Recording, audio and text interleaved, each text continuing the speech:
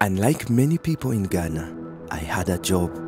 However, it didn't challenge me. It wasn't my passion. So I decided to do something about it. My name is Patrick and I am an engineer.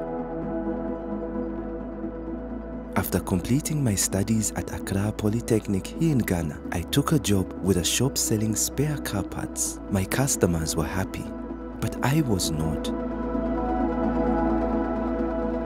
I had an unfulfilled creative and entrepreneurial drive. I needed to use my head and my hands.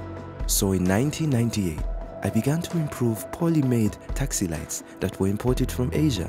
I knew I could make better quality light at a lower price. So I did. That's when P-Tech Fabrications was born. Today we offer services in metal construction, machine design, machine maintenance, product development and more. Most of the machines we own, I built myself. I even built the machinery for my wife's bakery. I had a natural creative ability, but you need more than that to run a successful business. That's where Hope Line Institute and Partners Worldwide helped me.